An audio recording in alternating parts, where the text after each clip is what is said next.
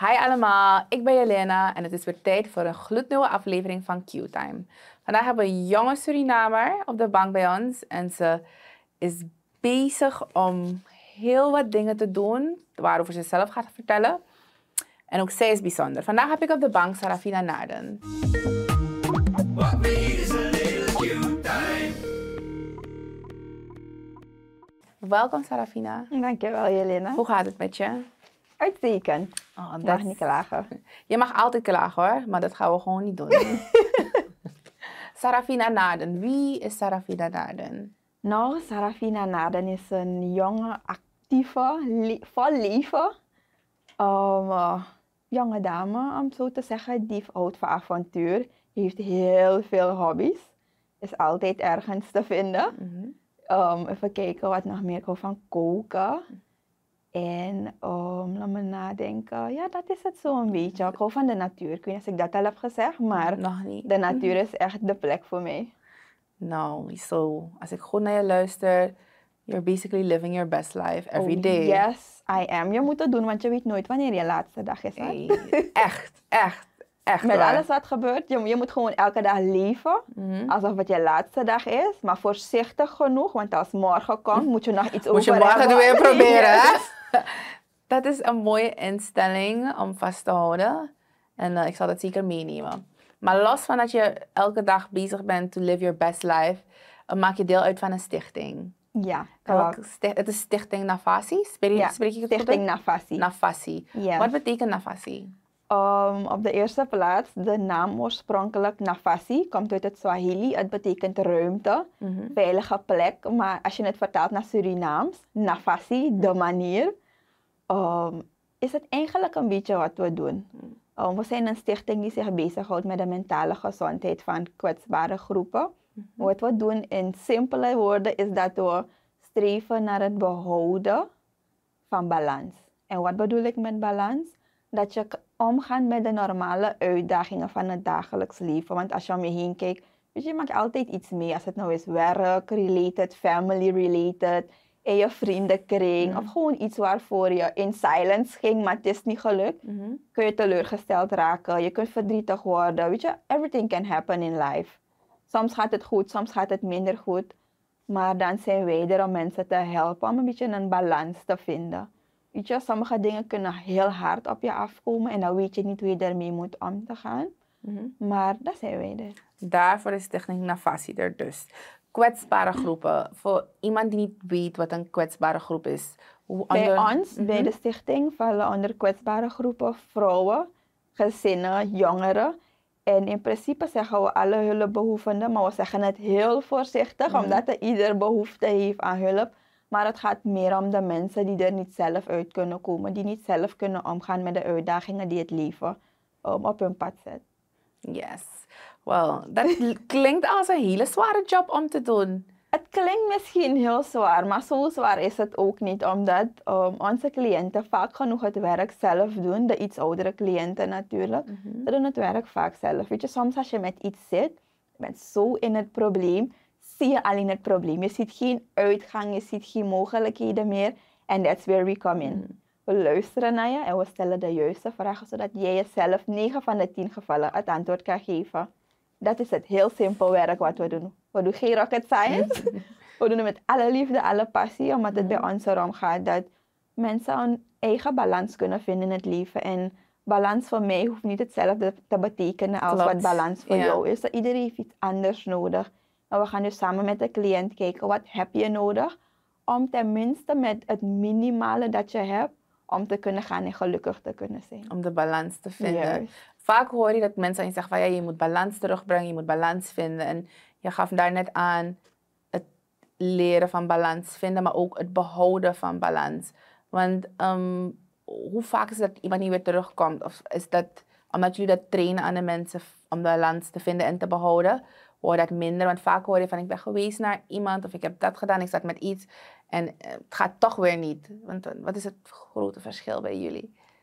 Um, ons logo bestaat uit een boom Mhm. en twee handen met veel bladeren, maar een boom heeft wortelen. Die zijn meestal onder de grond en zie je niet. En wat wij doen als organisatie, we're going to the root of the problem. We We willen weten wat is de oorzaak. Weet je, anders ben je steeds bezig met remedies Mhm. en je pakt het probleem niet aan. We gaan zoeken naar de basis van het probleem. Eigenlijk vind ik probleem een beetje een groot woord. Um, ik praat liever over uitdagingen. We zoeken naar de basis van de uitdaging. Wat zorgt ervoor dat datgene zo'n grote obstakel voor je wordt? En vaak is het een klein ding. Heel vaak. Soms zijn het grotere dingen, maar vaak is het een klein ding. En dan gaan we daarop werken. Dat is wat we doen. En bij ons gaat het niet erom dat mensen steeds naar ons toe moeten komen. Bij ons gaat het erom dat we je dusdanig gereed maken dat je weer naar ons komt wanneer je echt zelf niet eruit komt. Maar eh, in de meeste gevallen komt men er daar zelf uit, omdat we ze zodanig op weg helpen dat ze gaan ontdekken dat de kracht en de wijsheid in hun zit. Je hebt soms gewoon nodig dat iemand naar je luistert, of dat iemand je de juiste vragen stelt, of je zegt kijk hier of kijk daar. Meer dan dat hebben we vaak niet nodig. En that's where we come in. Simpel, maar krachtig, because it works.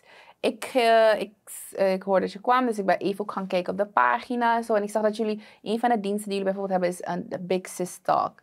Is dat ook één, ehm, of misschien wil je daar iets meer over uitleggen? Um, de Big Sis Talk is eigenlijk dat je een grote zus hebt op wie je heel goed bent, die je vertrouwt en aan wie je alles kan zeggen. In principe is het een soort praatpaal. Weet je, je kan, you can vent, je kan zeggen wat op je hart zit, je kan je hart luchten, je kan zeggen wat je dwars zit. Anything. Het gaat erom met de Big Sis Talk. Je, soms, je hebt niet eens een reden nodig om te gaan. Gewoon, je wil praten, praat. Klaar, that's it. Nothing more, nothing less. No strings attached. Maar een big sis talk, een grote zus. Maar stel, vaak is het moeilijk bijvoorbeeld voor ehm, mannen. Want je hebt, we hebben de groepen, je hebt de groepen opgenoemd, maar je hebt ook jongens en zo die met iemand willen praten. Is dan, dan ook een, een, een big brother voor... Er is ook een Big Brother, ja. Er is ook een Big Brother, maar um, we hebben nog... We zetten de Big Brother ook in, sowieso. Maar we hebben ook gezien dat de mannen bij de Big Sis gaan. Hoor. Ja, we willen allemaal weer terug naar de, naar de feminine eh, ja. energy. It depends on wie vrij is, hoor.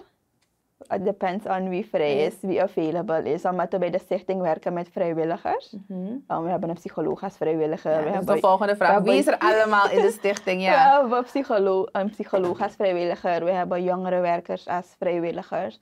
We hebben ook eh, peer educators als vrijwilligers. Advocates hebben we als vrijwilligers. Dus we hebben een aantal vrijwilligers die ons helpen om de cliëntenload een beetje te dimmen. Te dimmen. Alright, maar als ik zo naar je kijk, je bent nog relatief jong. Hoe, hoe, manage je dit, alles? Want je kan best wel wat dingen horen die niet eh, fijn zijn. Of mensen dragen heel wat met zich mee. Hoe is dat voor jou? Nou, voor mij als persoon heb ik geleerd om alles een plek te geven. We zitten allemaal met zaken. En um, één ding wanneer je zit met de uitdaging is om, en dat is gewoon in, in zijn algemeenheid, is om niet erin te gaan. Je moet er doorgaan om eruit te komen. Maar als je erin gaat, you can get stuck. En voor mezelf heb ik dan methodes ontwikkeld om ervoor te zorgen dat ik mezelf bescherm en ook de cliënt. Wauw. That's, that's, eh, ik, ik, ik, heb, ik kan het juiste woord niet vinden, maar it's, eh, it's admirable for me dat, dat jij dit doet of dat de stichting dit allemaal doet. Maar stel iemand die nu kijkt en eh, zich herkent in een van de kwetsbare groepen die je hebt opgenomen.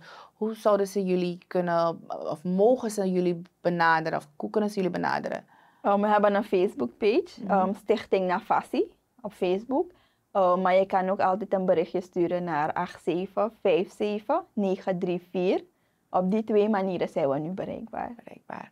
Oké, dit werk is waarschijnlijk, of kan soms best wel zwaar zijn, maar jullie zeggen jullie eh, hebben, jullie kunnen de workload een beetje managen. Maar als iemand hier nou zou zitten kijken en denkt van ik wil jullie helpen, hoe zouden ze jullie kunnen helpen? Wat hebben jullie nodig? Hoe zouden ze? Nou, de stichting kan altijd vrijwilligers gebruiken. Vrijwilligers op het gebied van uh, mensen die maatschappelijk werkers zijn, die hun krachten willen geven, jongerenwerkers, psychologen. In principe vrijwilligers die affiniteit hebben, passie en ervaring. En ik, ik zeg bewust zet ik op de laatste plaats ervaring, want je moet eerst passie hebben, weet je, je moet voelen ervoor.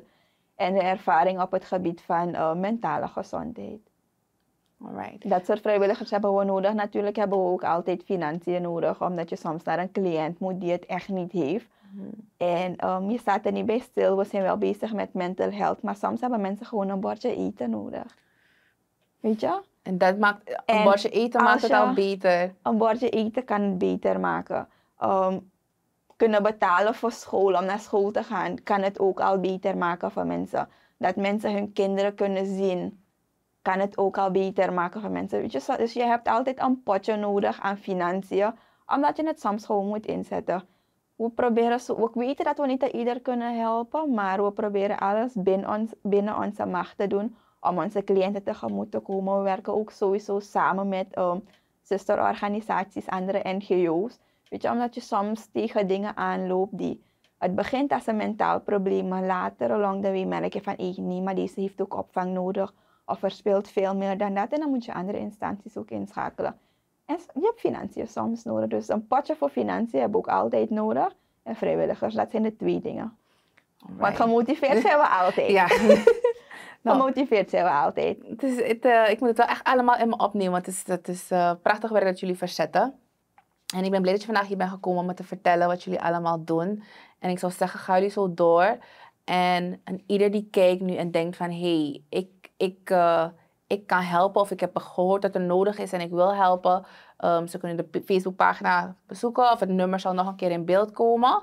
En ik hoop zeker dat het voor jullie lukt. En als er ook mensen zijn die kijken en denken van, oh my god, ik herken mezelf hierin en ehm, ik wil de stap maken om mezelf te helpen.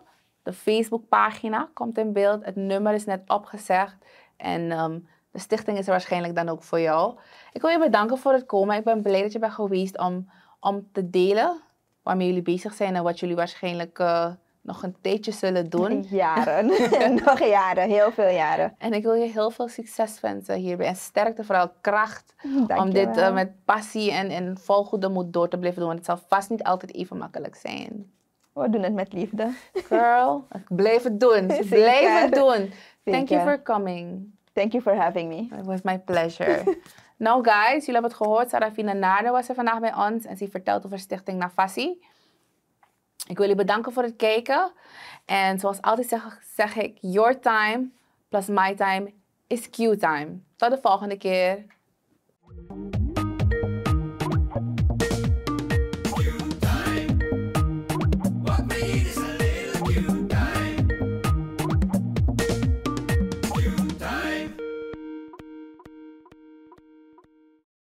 This is another Supreme production. Supreme TV. Entertain, to inform, to inspire.